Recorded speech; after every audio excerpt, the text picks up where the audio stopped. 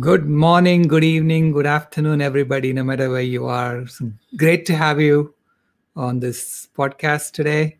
Uh, today, we are be, we're going to be talking about food healers, uh, what we need to do to address the food system that we have today. And I want to set it up with a small story. Because I, I heard about uh, Paul Chatlin, a couple of years ago, and I contacted him and I talked to him. See, Paul Chatlin in 2013 had a big problem. He couldn't walk even 10 steps without feeling excruciating chest pain. So he went to his cardiologist, who diagnosed that his heart was enlarged, his right side was thickened, and one of his major arteries was 100% blocked, and two others were 65% blocked. So he told Paul, you know, the only way out for you is one of two options either go on a plant based vegan diet or undergo a triple bypass heart surgery. Now, Paul chose option A, you know, go on a plant based vegan diet. So he took a month long cooking course offered by uh, Dr. Caldwell and Anna Esselstyn, and he learned how to thrive on a healthy vegan diet. And it cost him $975 for the cooking classes. So then, you know, after he went vegan, his heart disease literally disappeared. I mean, as Dr. Esselstyn and others have been telling us for so long, you know, heart disease is just like it's a food poisoning. It's just foodborne illness. And you can literally reverse it by changing your diet.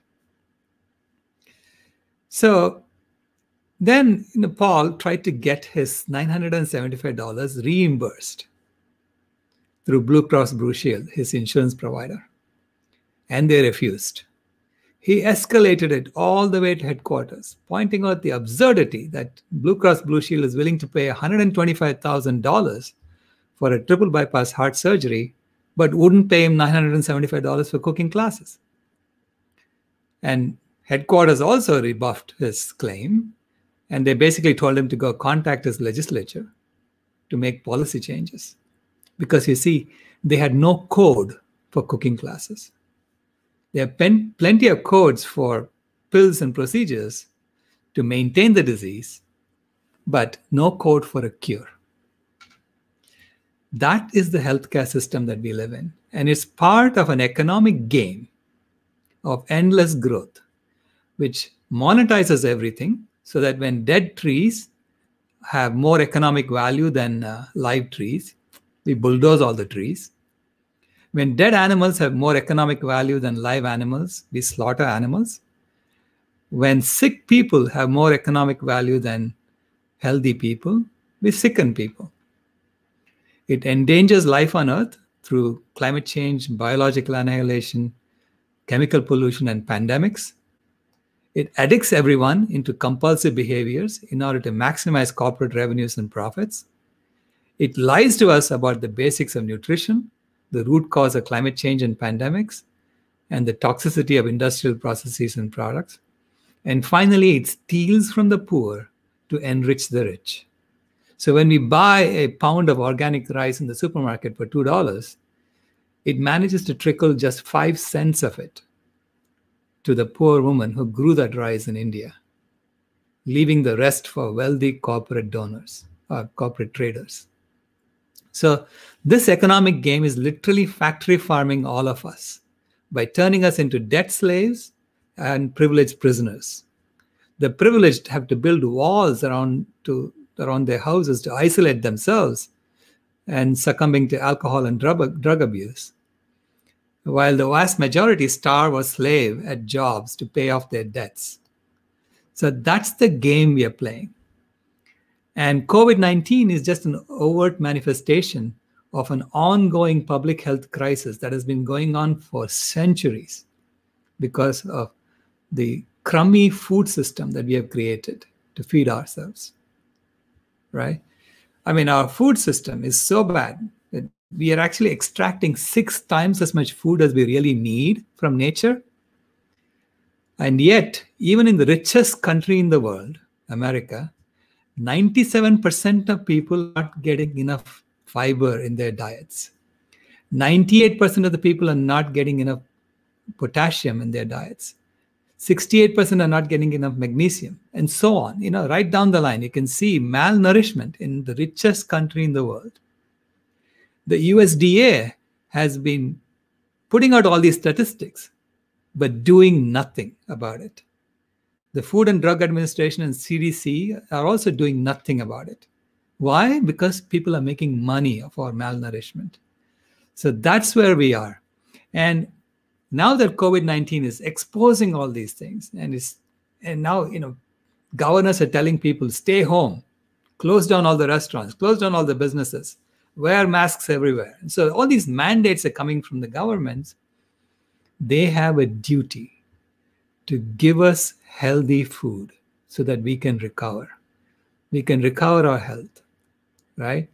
If they don't have a duty they're not going to do it we are going to have to do it ourselves. And that's why I have um, these great guests today. Um, Jamen, Jamen Shively, who's doing this in Whidbey Island, Washington, and then BJ Allen and Joya Wesley, who are doing this in Austin, Texas. Thank you. Thank you for being here. Thank you for doing what you're doing. It is really important that we show our governments you can't just mandate the closure of businesses and then tell people who you fend for yourself. You know, we have to help people get back to their health, get back their good health. So first, uh, Jamen, tell us what you're doing in Whidbey Island, Washington. Sailesh, great to see you. Um, so what we're doing on Whidbey Island was inspired by you, Sailesh, and everyone here, all of us as a community. And what we're doing is we are setting out to create the iPhone of food, the iPhone of plant based food. And if you allow me to screen share, I can show you a couple pictures of that at some point, could be later, whenever is good for you. Um, here, let me let me just go ahead and give that a give that a go. Yeah, give it a shot and see if it happens. Yeah, yeah. Okay. Application window. All right. So uh, the, the whole idea is, and let me start up here. Okay. Can you I see that okay, Sarah? Yeah, I have you on the screen. Right. Okay, great. So you can see this Food Healers of Whidbey Island. So our vision, which again, we've all been co-evolving, um, all of us, is that we deliver nutritious, wholesome, plant-based stew and bread or some other suitable carbohydrate, could be rice, um, but stew and some carbohydrate um, as the basis of just basic nutrition and do it in large quantities by large if we buy large enough quantities of potatoes and lentils lentils you buy them at the store two dollars a pound if you buy them from the farmer six and a half cents a pound as we found so the food can be enormously economical we cook it at large scale using automation so that we don't spread covid we transport it using refrigerated trucks, the stew in this case. We've got the technology from milk trucks. But here's what I think the new face of the iPhone of food could look like. Look at that. A Tesla truck pulling an ultra modern trailer because we need to blast our way into the mind. And imagine on the side of that it says food from the future, as if this thing got dropped by aliens. Again, we need to blast our way into the mind. We need to get the world's attention. Food for the future. You want to have a future? This is the food to eat. And everyone's going to wonder what the heck is inside of there?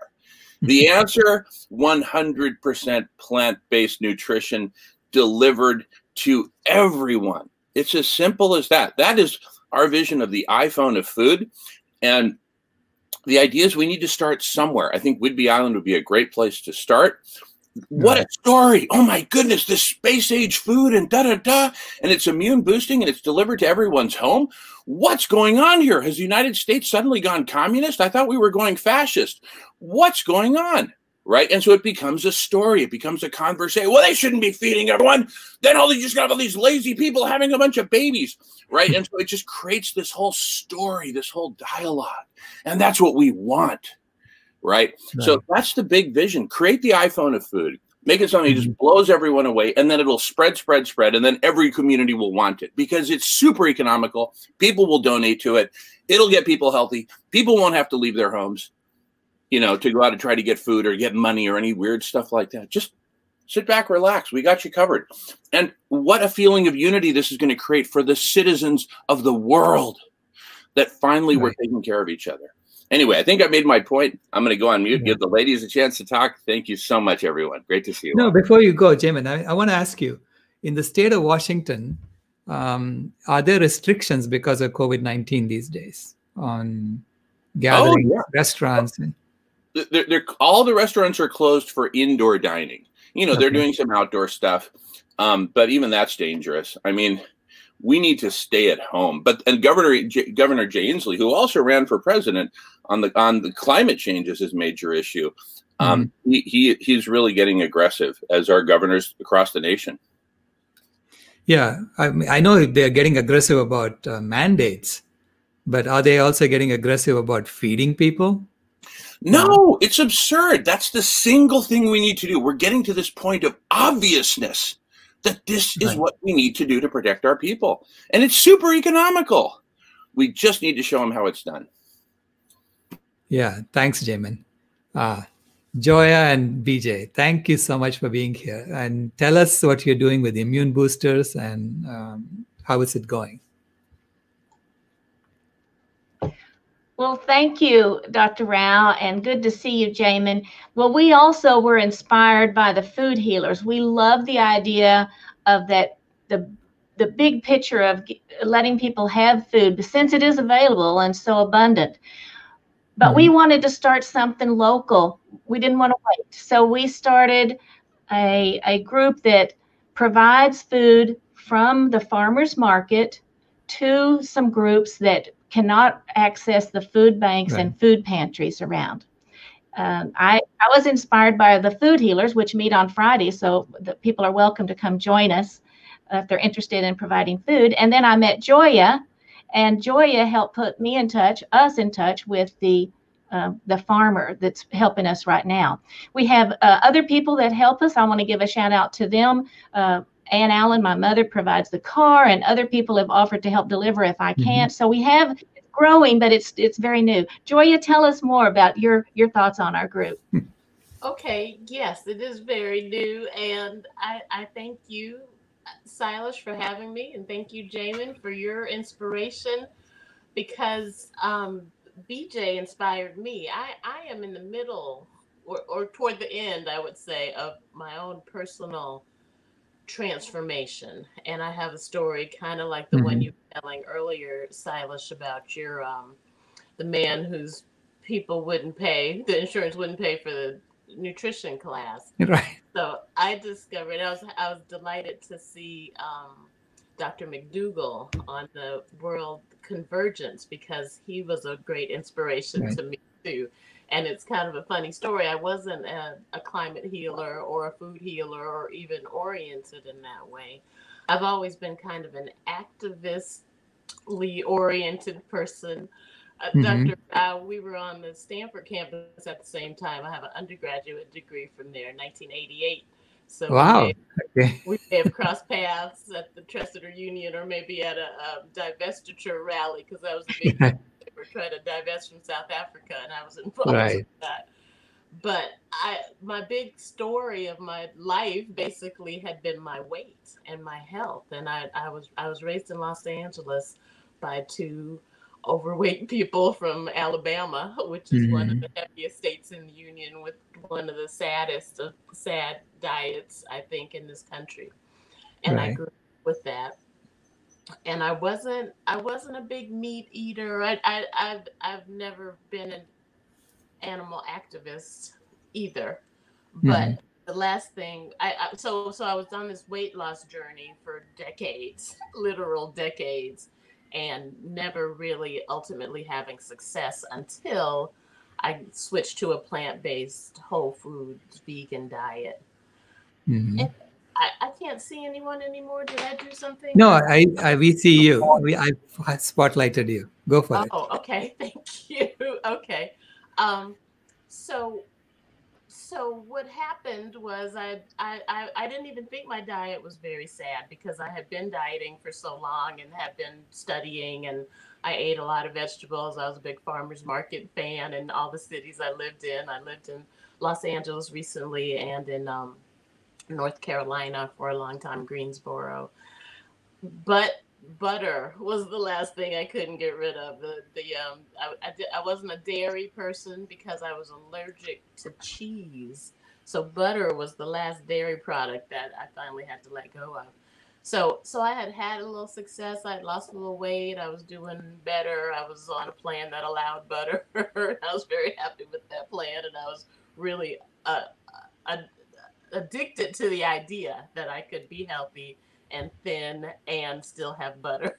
so I had to I let that go because I after having a little success I started sliding back and losing ground and gaining weight again and feeling sick again and I actually had malignant hypertension so I was mm. in a very dangerous place. So um I, I, like to say that my my sad life, my standard American diet life, had a little had a grand finale and a little curtsy before it ended. So what happened was I I went crazy. I went my I was working as a um, artist manager, and we had a big show, residency in North Carolina, which is a, mm-hmm. another one of those fat states in this union that likes fried food and meat and right. dairy and greasy animal based products. So the um, host took us to all the best restaurants in town and just made it a point that we eat, eat, eat. And I ate, ate, ate, and I was really, really off the straight and narrow, off the rails. Then we went to London and I ate a traditional English breakfast at the hotel buffet every morning for four days. So I was I was in a mess, a mess. So I remembered, I went back through the 38 diets, I counted them up that I had actively tried over my life. And I remembered the rice diet, which was Dr. Mm. Walter Kempner, who Dr. McDougall gives credit to for being the father of plant based nutrition or lifestyle medicine, I think. Mm-hmm. So he had a program at Duke University that was basically rice and fruit. And um, there's a one of his students or assistants, apprentices, recent more recently wrote a book called The Rice Diet Solution, which has the same principles which rice fruit. But the idea is that you take out all processed foods, all um, salt, and it resets your taste buds. So I knew I was in a bad way and I needed to reset my taste buds if I had any hope of ever getting back, not not continuing my path to my 600 pound life, which is where I was going. I got to 339 was the highest, my top weight, but didn't get quite 600. But that's where I was headed because I was back on the wrong way. So while I was doing that, I thought I would do it for a couple of weeks just to get back straight. And then I discovered Dr. McDougall, and I heard him say things like, "We love good news about our bad habits," and that butter news was good news about my bad habits that I love, love, love, and I had attached to and was happy to hear. But I had taken a break from that, so I had he was telling me good news about my temporarily good habits. So it was a new way of looking at it, and I wasn't as mad at him as I would have been a month earlier to hear that, and would have bristled and shut down and not followed that path at all. Right. So since I was already on it and already having great success, I'd already gotten off my blood pressure medicine. I had lost several pounds by the time I read that. I was like, oh, oh, okay. So this I could do this. I could keep doing this. I could eat six servings of starch and six servings of vegetables a day, basically three servings of fruit. And that's what the rice diet was. And that was a real simple way of putting it together. And that's how I've continued putting it together. So vegetables is the key part of that. So um, the next part of the story, I feel like I'm going on and on. no, no, please. Yeah, it's, it's fascinating. This life, I'm really impressed by the work you all have been doing and really glad to have been sucked into it by BJ, my new friend. so this is a, a story of Zoom and, and I guess the story of the pandemic too, because Zoom has been a wonderful addition to my life and a lot of people's lives And I was visiting our little river park. There's a river nearby here, and met a nice man who is a member of BJ's church, and he invited me to church in the middle of the pandemic. But it was Zoom church. They were having Zoom services until May. I think they had already decided way back then that they weren't going to gather in person. It's a small congregation, and I can let BJ tell you more about that because um, her this work, this immune builders work, grew out of that too. That's an activist Unitarian mm-hmm. Universalist church, and I've I knew some Unitarian Universalists in Greensboro, and I liked them. So when I was invited, I was like, "Yeah, okay, I'd happily come to your church. Thank you so much for that invitation." So I did, and I had a background from the Physicians Committee for Responsible Medicine. So mm-hmm. one of the other members said, "Oh, you Physicians Committee," and, and BJ said, "Oh, I live Physicians Committee plant based too." I was like, "Oh, wow, that's exciting."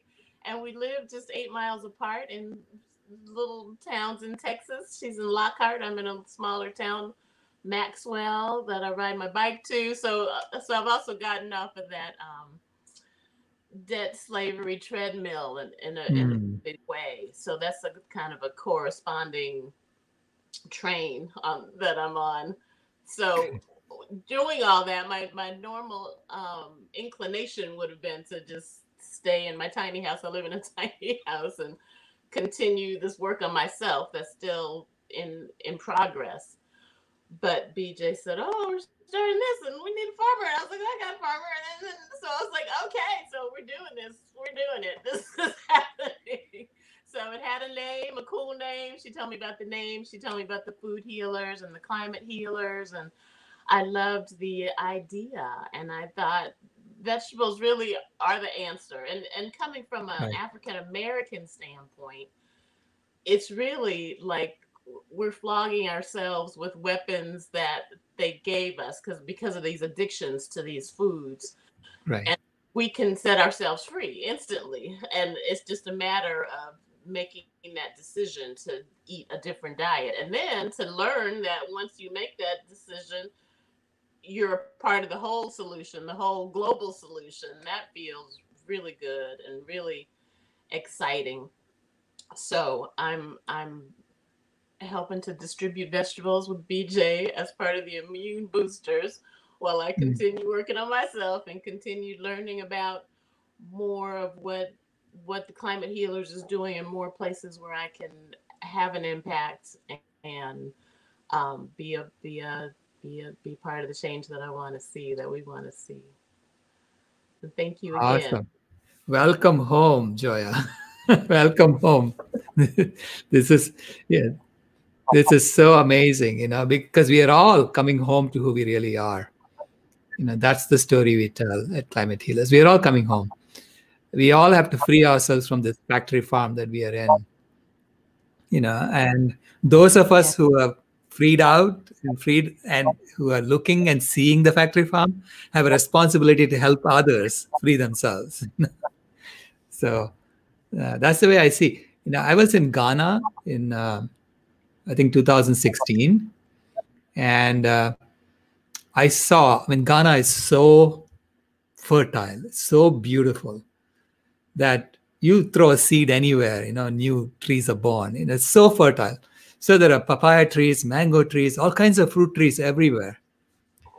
But people were not eating them because they were taught in school the, to eat according to the Western way, you know, I mean, with rice and milk. And so people are running behind cars trying to sell me stuff in order to go and eat. You know, so it was crazy. As you said, once you see the scales, when take the scales off your eyes and you see what's going on, um, you realize it's easy to free ourselves up. You know, it's easy to free ourselves from the bonds that we have been tied to. And that so, fertility of the earth that I, you talked about. Right. Uh, should I let you speak first, BJ? You had something to add. Oh well, I just uh, mine is on another track of how my eyes were open too. I went to the doctor because my cholesterol was too high, and he wanted mm. me to medicine. And eventually somebody gave me a book. And so my eyes were open to eating plant based. And I tried to educate uh, teachers, share with what I knew, you know, not force any change. After school, I'd talk with teachers. So I've been on this journey for a while trying to share the news, and this seemed like a good way to do it, um, just to get some food out there. And Joya has beautiful ways of explaining these this abundance of food. I'll give it back to you, Joya. Okay, thank you. Yeah, abundance. That I'm also working at a farm, a, um, a organic vegetable farm. The farmer who's given us his surplus to distribute to the people who need it, and it's got kale and collards and broccoli and cabbage and squash and just the it was an empty field when I first went out there. I met him at the farmers market. I told him if you need somebody, I would like to to do this. But I, I think I'm a farmer. Maybe let's see. we checking it out. But it was an empty field, and he has several gardens around the area. But this one was empty when we got there. Now it's beautiful with kale and all these plants. And when he harvests to sell, there's a lot of loss leaves that fall off that can be put together and made into bunches that can be good for people so i've been right. collecting and just just my mind just blown at how much and how continually the earth produces and gives and gives right. bounty and people are not eating it and a lot even in here in texas even is not i wouldn't have thought of as a big fertile place but this ground is very fertile and it's producing so much beautiful produce. And that I was inspired at the Vegan World Convergence too by um, Milani, is that her name? Milani's um, talk about gardening and community gardens. So right. I, I, the future for for um, immune boosters, we can involve other gardeners and farmers because I know this this issue of surplus is is an issue for anyone who grows anything, and it needs to be directed. Where it can heal people and expose people. Because that's the other thing is that there is the food bank here, and and BJ and I have been talking about this. There's alter there's options for people to get food, but not necessarily vegan food, and part of um, I, I, think that the impact we're having in terms of the number of families we're getting vegetables to might be small, but in the future, I think we can do more education and promotion of the idea that vegetables are great, which is one of the comments I made yesterday. Vegetables are great, and yeah, that's really the, the whole point. Right. they're heating, they're delicious, they're the answer. They've been here with us all along. Right. Now, the people that you give the food to, do they know what to do with the vegetables? Have you found out what they are doing with the vegetables? We don't know. We don't know. The first time I delivered individually to the individuals, and um, I didn't speak their language, and they were just grateful for mm-hmm. it. Mm-hmm. And the next time, um, our group, this is a wonderful group called Mano Amiga, who helps immigrants in a number of ways. So mm-hmm. now they deliver the food. Mm-hmm. Uh, but we don't know, and we have talked about uh, having recipes. Um, mm-hmm. we, I've thought about having little pictures of what to do with food because we don't know for sure what all the languages will be. Most of them will be Spanish related, but we don't right. know for sure. Um, we also want to, we've also thought about providing cooked food right. and how we could do that so that they see, oh, here's something delicious. Well, what's in it? Oh, that's the kale that y'all talk about. Right. Uh, most of them are very pleased that we've heard to get fruit. Mm-hmm. Um, so we're still we're still expanding. We've been doing this now for six weeks. Awesome. yeah, six weeks. And I love the cooked food idea too. And Jamen, maybe we, we can have your recipe for your stew. Is it a regular? Is it a, a, set thing? A same the same recipe or what? There's a, a unity stew, and the and the spices can change because you know vegetables go so well together and we're real fortunate that dr i think it was the dr neal barnard who looked over the recipe and said it has the nutrients that you need. I mean, it even has the the juice from a lime and B12. So, yeah, it can be all right. kinds of. Go ahead, Jamen. oh yeah, I just wanted to add in terms of the vegetables. So here's a concept that can kind of uh, address all of these issues simultaneously, including the spoilage of fresh vegetables. Obviously, the, the nutritional value of vegetables declines rapidly with heat or anything like that. So imagine this is just a concept.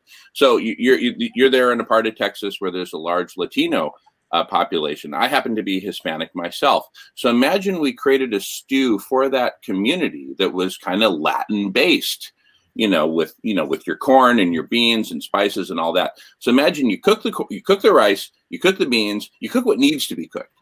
And now just imagine we then chop up the vegetables. We get them fresh from the source, chop, chop, chop, mix them in the stew cold, cold. And you refrigerate the whole thing down to close to zero degrees centigrade, but not freezing because we still want it to be liquid. When it's cold like that, it's got all this, let's just call it thermal inertia it's cold and because there's a lot of water and a lot of stuff as long as you put it in a pot and it's not exposed to the sun it's going to stay cold. You can even transport it for hours it'll stay cold. So you don't need refrigeration. The vegetables as soon as they were fresh from the farm chop chop chop boom they're in a cold bath. So they're the, the nutrients are in suspended animation and then it can all mix and marinate and all that. You bring the cold and you say listen all you got to do is heat it up. And it's like whoa mama mia this is my kind of stew and then that way it's just like it's a it's just problem solved. That's why i call this the iphone of food. You don't have to teach anyone how to cook or this or that or, farmer you know just here here's the food. Now of course long term we want to get everyone growing their own food uh, as much as possible so that the produce is very local fresh et cetera et cetera. But the first thing we got to do is feed everybody. And this gets this this is isn't just about environment and it's not just about nutrition it's also about atonement, which is something that we keep running into over and over and over. We need to atone for mm-hmm. our harms that we've caused to our brothers and sisters, as well as to our mother, Mother Earth. And so, um, the, the first part of atonement, look, it's it's it's great to look back and say, okay, what do we do to atone for that that happened 100 years ago, 200 years ago, what have you? But the first step in atonement is very simple. Stop the harm. Right. Stop ongoing harm right now. Right? It's like I'm some pyromaniac when I'm going around setting houses on fire and I'm talking to my priest and saying, hey, you know, how do I atone for all those houses I burned down 10 years ago? Step number one, Jamen, stop setting houses on fire. Stop the harm. Then we can go back. But right. right now, put down the matches. For us, putting down the matches is feeding our sisters and brothers period, full stop. Oh, so, thank you for the training. Go ahead, Joya. Yeah, thank you. Where where do you where so when you say everybody, you're in the milk trucks, you're so it's just you're gonna pull up to populated places and open it up and start passing it out? Yeah. Okay. Yeah, that, that, that's the idea. We we kind of have this vision of like in the case of the stew, we pull up and the message is bring your own container. Got a big family? Bring big pots. We'll fill you up. Eat what you need now. Put the rest in the refrigerator. Perfect. Right. Yeah. And th- that's exactly it. And and so and zero packaging. Bring your own container. So we've got big reusable pots, whatever bins. We'll, we'll figure out the technology, the details, but we just deliver you the food. You don't have to leave your home. I mean, walk outside, obviously, come to the curb, and you know safe social distancing and all that it'll be just safe to the max but feed right. everyone. And um, you know we, we live on an island where there's you know a lot of wealthy folks and frankly not a lot of hunger or malnourishment other than the traditional americana malnourishment from eating the wrong foods.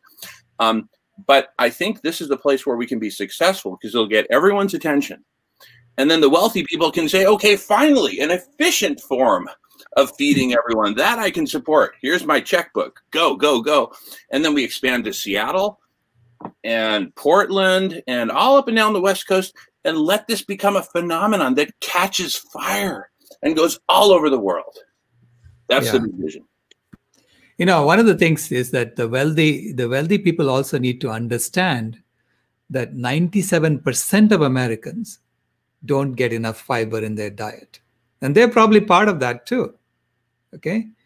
Uh, very few people who are out of it. 98% are not getting enough potassium in their food. So Americans are malnourished. This is why the obesity rates are so high because our body is saying you haven't eaten enough. Where is my nutrient, right? So making us eat more and more when we and we're eating all this junk. So this is part of the problem, right? So they need to realize that it's also solving a problem for them, for the rich people too. You know, it's not just for poor people. We are all in this together. Yeah. We are. And I want to say we keep coming across other groups that are also concerned about the poor and having uh, providing food for them. So we're trying to find out ways to work right. with them. Um, have a, a, large homeless population in Austin uh, living under bridges. And uh, my friend Renee Kimball and I, we have delivered food from the back of her truck to them. Mm-hmm. And sometimes uh, on certain days, they've already been fed. So we're, we're pleased that some groups are working so hard to to feed people but there are many that are just missing out and and more and more will be missing out because of coronavirus and the loss of jobs as you know right yeah coronavirus is basically resetting the whole game the economic game of growth and saying think about what we are doing right so we have been we have been sort of mindlessly go, playing along with that game for so long and now that so many people are out of jobs, we have to think about the game we are playing and say, you know, should we really be playing the same game? Or should we be changing that game? Especially when they're telling us, put masks on your face, you know, don't go talk to your relatives. Excuse me. you know, I mean, I'm making all these sacrifices and you're not even telling us the truth about what is going on, not even changing the game. You know, so that's unacceptable. And this is why I think Governor Jay Inslee and people like that should be stepping forward and saying, how can we help? Right? Because they are supposed to be progressive governors who are mandating all these closures and they're not helping the people. Excuse me. There's something wrong. Right? Um, go ahead, Jamen. Yeah, well, see, the thing is, they, they lack the imagination. Uh, people who go into politics in general, right, aren't people like us. They're people. Anyway, I, I don't want to badmouth all politicians or mm-hmm. anything like that. But the, the bottom line is very simple. We need to show them the way. Once we show them the way, once they see that first Tesla truck hauling this ultra modern trailer saying food for the future, what, what, what? Everyone will find out about it. They'll do the math. Wait a second. So you're delivering stew at 25 cents a serving and it's delicious and neutral. What's going on here? Well, we've turned economics on its head. See all those distribution centers, see all those Costco's, see all those supermarkets, Trader Joe's, this, that's all gone. We're going from the farm to your plate. Boom. Zero packaging, zero BS, and zero cruelty. And and then when people see it, it's it will it will beckon to be replicated. And then people say well that's great. And people in austin will say hey let's do that. Let's do and so it take it's going to take a little bit of concentration of focus mm-hmm. at one place. And i have no attachment to where that place is. If it's texas it's texas. If it's phoenix it's phoenix. If it's whidbey island it's whidbey island. But let's get that first tesla truck and that first shiny metallic trailer that looks like it came from a spacecraft right? And let's blast our way into the minds hearts and imaginations of our fellow human beings and show them a new way. And then it'll spread like wildfire. Yeah. You know, it'll be good to involve uh, doctors as well so they can test people and see, and show them what their nutrient deficiencies are in the beginning and what it is at the end. You know, have to go through maybe a 21 day program on this uh, and um, sh- show them the results, right? So I, I was talking to this Dr. Gross, um, and he found this amazing way to get people to, to go plant based. Uh, he has 80% of his people, of his patients, are, have gone plant based, he said, because he makes them watch What the Health, and then he gives them a questionnaire to watch with the What the Health. So he says, fill up the questionnaire as you're watching. And so, because they want to answer the questions correctly, people watch it intently. and when they watch it intently, they realize they have been fooled all along, that they have been lied to, and they are being farmed and used as objects for pharma companies to make money off of them. So people get very upset and they say, okay, you know, uh, I don't want to be part of that anymore. That's wonderful, Dr. Rao. Oh, uh, it just reminds me if people want to watch that and have a discussion, that's one of the other things that climate healers will do. We'll share a video together in a group of, of your choice. And we may be able to get a doctor there with uh, with us to answer questions, but we'll watch that together, and that's through Climate Healers. Yeah, uh, so join. I mean, BJ has the Climate Healers group in Austin, mm-hmm. uh, and so we are basically you know um, producing these documentaries to help educate people as to what is really going on and open their eyes so that they can say i can free myself you know by doing this instead of that of course some people need help and so we need to help them when they need help uh, which is what Jamen is talking about. I mean, Jamen is talking about literally reinventing our economic game on a foundation of healthy immune boosting food. Because right now, our economic game is built on a foundation of extraction and accumulation, you know? And so it's like a Ponzi scheme, right? And the, the people who started the Ponzi scheme are getting richer and richer and richer, right? and they're saying, oh, Key, you came in late. Sorry, you know? yeah.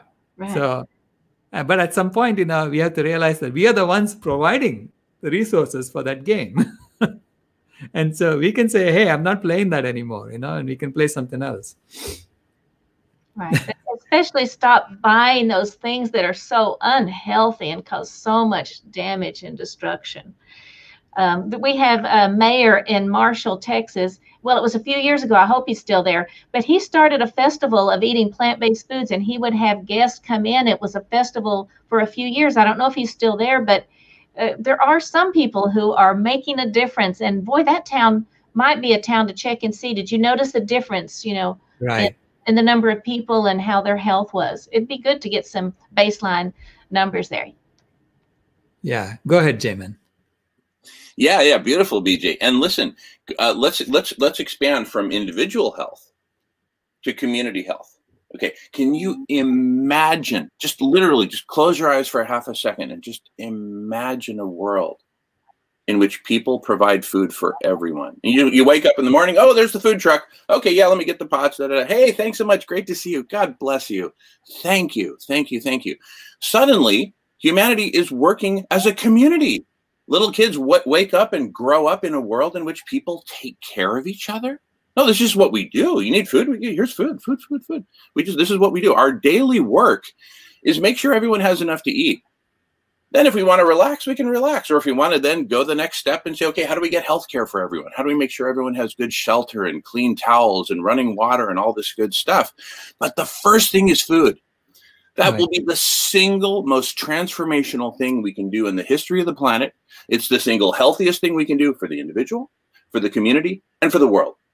I mean, it's just win, win, win, win, win. There's, zero downside. The only downside is for the capitalists to say, wait a second, I want people to keep coming to, you know, to, to Whole Foods and buy triple wrapped plastic single use whatever for 30 bucks an ounce. No, no, no, no, no, no, no, no. Food is inherently, Mother Earth is inherently generous. We just need to avail ourselves of her generosity and share the love. This is going to be a revolution of the heart, a revolution of community, a revolution of culture. It's going to be the era of sharing. We're going to go from the era of hoarding to the era of sharing. It's going to be beautiful. Go ahead, Joy. I just I just want to give a um a shout out for Whole Foods because I, I, I know I understand what you're saying and all that rap stuff is is one thing, but the idea that it's expensive and difficult to go vegan that's the other thing. The word vegan maybe I can get some of you more experienced people to right. talk about that because it's a new identity for me, which is a trip. It's been a trip in my relationships and my family and my mind, and mm-hmm. I'm still integrating all of that. But when I started, and I, I was kind of displaced from Los Angeles. I left because of COVID and the, the, my work was over. So I needed to scale back. And I was living with my sister in Mobile, Alabama and they have a Whole Foods there, I'm happy to say. And I was able to go there and get bulk beans and rice and large bags of organic apples and bunches of organic vegetables for way cheaper than what I would have been paying if I was eating my old standard American diet, which was not the cheap standard American diet. I was eating on a right. higher level, so I would have been buying the triple wrap thirty dollar ounce stuff at Whole Foods. But now I was just buying the um the vegetables and the bulk.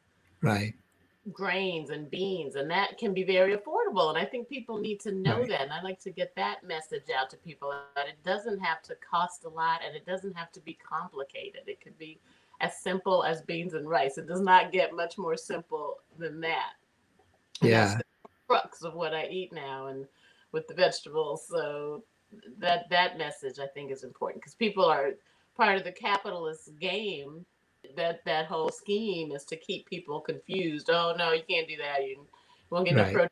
Uh, it's too hard. It's don't don't right. even bother. You can't go anywhere. Right. You can't get anywhere. And I I don't eat out anymore basically because basically you can because there are all the big food delivery systems, the big Sysco's, and they're they have the, all the same pre-prepared oil slicked salted sugared items that are basically repackaged in restaurants all across the country. The same food right. that's not serving the planet being eaten in different ways.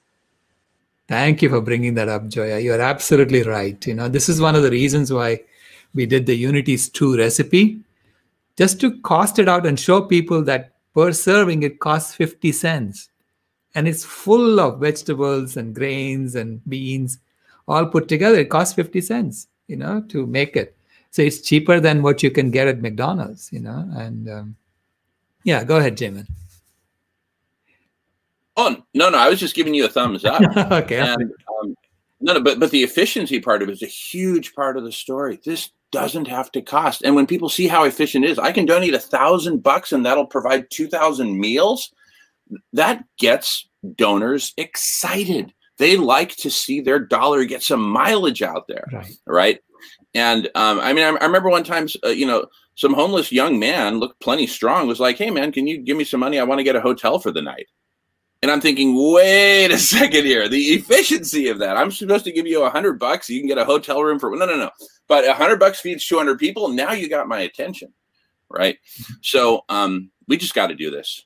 We just yeah. got to do it.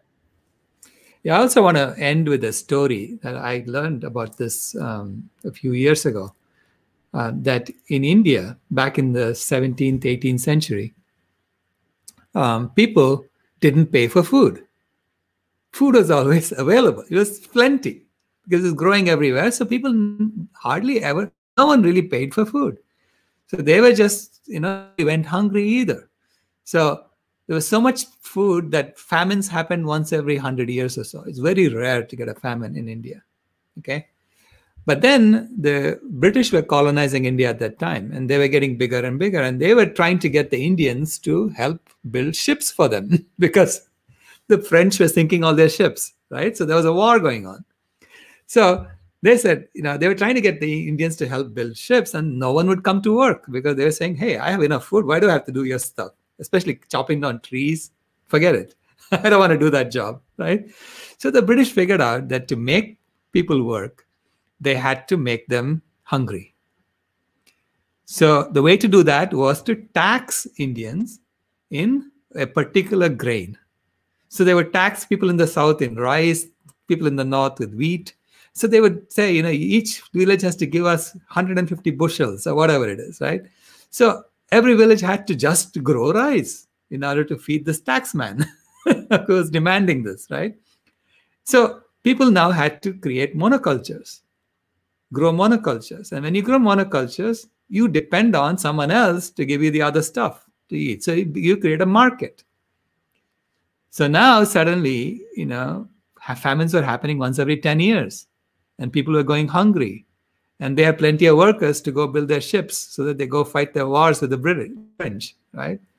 So it's this idea of war, colonialism is all built into this food system. Okay, and this is what's imprisoning us. This is what's keeping us stuck in this fact, right? So it's going back to basics. If you look at why were Indians so you know, eating um, properly and were healthy and they they really didn't didn't have to go work for the british because the base food in india is vegan. The base food is always rice and lentils. And then you add vegetables and things on top of that right? So if they add uh, animal foods it's like a, a small bit that you add on top of that rice and beans. And so the base food is always vegan and to that, they were adding some butter or something at the end, right? If the rich people would do that. So fundamentally, it was vegan food to start with, right? Whereas the culture here, the fundamentally, it's animal food to start with. And so it's difficult for people in America to make that switch. But in India, it's easy to make the switch to veganism, really. I really believe that Indians will become go vegan first if they put their minds to it. It's easy for us for us to do it. And I'm sure lots of countries in Africa are like that too you know the base food is vegan for indigenous cultures. So what what do we do? I'd like to hear from you guys to to help people on a broader scale with the um, addiction. It's the food addiction that makes it impossible for a lot of people to hear this right. message. I couldn't hear it. It was like my ears were clogged with butter. so if anyone talked to me about anything that involved no butter, I couldn't hear it anymore. And goodbye. Yeah. That's the end of this conversation. So, right. I, and now when I'm trying to talk to people, I, I don't have words that I think people who are like me last year or today can hear and can really even wrap their minds around. And, right. I, I feel like the, the, the, the best success I have personally so far is starting with the personal and community health route. Right. But that doesn't always work. And I think addiction makes it impossible for people, a lot of people to even begin to hear. So it's like that has to be attacked in some way first. Go ahead, Jamen. Yeah, well, one, one saying that I love that I think is relevant for this is very simple. Why tell them when you can show them? And why show them when you can just put the fruit in front of them? Listen, if we're delivering this stew all over the place and it's this big story, what is this food for the future? Food from the future, 100%. What, what? At some point, you say, okay, well, you know what? Let, let me try this. Let me put down my barbecued drumstick and let me just give this a try. And see, now this is where we need to bring in the award winning vegan right. chefs. I mean, uh, and, and, when I say iPhone, I'm not kidding. I'm not saying, oh, let's do some crappy little flip phone of food that kind of breaks out after a couple years and then you get some other piece of crap and you go from crap to crap. No, let's once and for all solve it. And if we do the iPhone of food, delicious, free, delivered right to your home, zero packaging, zero waste. It comes in a space age Tesla truck. They'll probably come out just to see the dang Tesla truck. and then they'll say, well, yeah, I happen to be hungry. Yeah, yeah, give me something. I'll give it a try. What the heck? right? The worst thing I can do is I spit it out, but it's going to be so delicious. They're going to say, wait, wait a second here. This tastes good. This tastes hearty. There's got to be chicken in this. There's got to be chicken in this. Right? No, no, no. And that, that their taste buds will win them over. It, women throughout the world know the key to a man's heart is through his stomach. Let's put food in their stomach that they'll make them smile. It's as simple as that. We've got to do it. And we got to concentrate in one place. Again, I don't care where, but we got to start. Right. So let's band together, pool our resources, and make this happen. Go ahead. Yeah, Jamen. I mean, I'm with you. You know, hundred percent. And I, I think that uh, uh, you are right. I mean, the, the idea behind this food truck is is to bring the community together. So the community, the best way to overcome addictions is with a community. Okay, When so people tend to do things together very much better than doing things by themselves. You know, um, I know Jamen had trouble overcoming his cheese addiction, you know, and I had trouble overcoming my yogurt addiction. So we all have our little things, right? And, and I mean, I had to, uh, I had to sort of create yogurt out of soy milk. And then I said, oh, I can do this now, you know, because now I have soy yogurt that tastes just as good, if not better, than uh, than milk yogurt. So yeah, we we all have uh, our little things that we stick to that keeps us stuck in the in the factory farm. So it's about helping us overcome that and um, in getting out of it. But yeah, we are we are in this we are in this together, and uh, we are this is heading towards a vegan world by 2026. That's how fast we need to do this, and let's do this, right? And I think the food system is the is the basis of it. Yes. I think people will be also inspired to grow their own where they mm-hmm. can. Oh, that's all it takes. Well, we can, oh gosh, I'll help you start a garden. Or there's a community garden. Mm-hmm. Or as uh, the Sadhana Forest do, they go to a family and say, Would you like us to help you show how show you how to plant trees? And you take care of them. And then they go to another family if they don't want to, okay. But if if there's so then you start growing your own and becoming independent and growing forests and there's it's all so connected. It's all so connected. Absolutely. Absolutely. Thank you. So um, we have just a few minutes left. Do you have any parting thoughts? Jamen go for it I think it's going to be like that story Stone Soup. So when the community saw that these three weary soldiers were coming together and working hard to feed everyone, even though it started with just a story, everyone then started contributing. So if we start with one Tesla truck and one space age trailer and get everyone's attention, and then they're going to say, well, wow, well, thank you, thank you, thank you. What can we do? Well, grow produce. That's all. Just grow produce and contribute it. That's all. We're going to feed you regardless, whether you grow or don't grow. But once people start feeling that generosity, you cannot help but get sucked into it in a very good way and say, I'm in, I love this. Wow. It's going to change everything. We just got to start. Yeah. Cool. Joya, any parting thoughts? We're we're starting, we're rolling, we're we're doing our little bit of immune boosting in our corner of the world, and we'll be ready with the uh, we'll we'll have built up some momentum, some more momentum, I think. Yeah. Hear from us.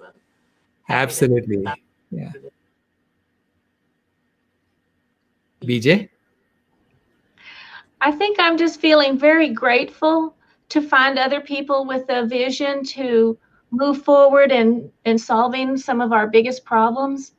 And uh, the Zoom has helped, and I think I thank the community members of my church and the local people, and then all around the world who who want to help and and be a part of this great transformation. Thank you. With that, you have the last word, BJ. Thank you very much for for being here, and thank you all for being here. And uh, next week, we will be talking to Ian McFarlane, who couldn't come this week, but he's coming next week. And we're going to talk about what we are doing in South Africa as part of Food Healers. So stay tuned. Thank you all.